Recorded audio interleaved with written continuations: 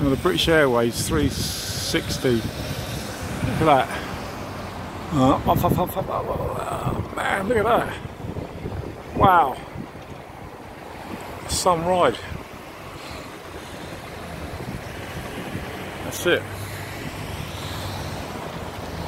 Brighton's best views, how could you miss it? There you go.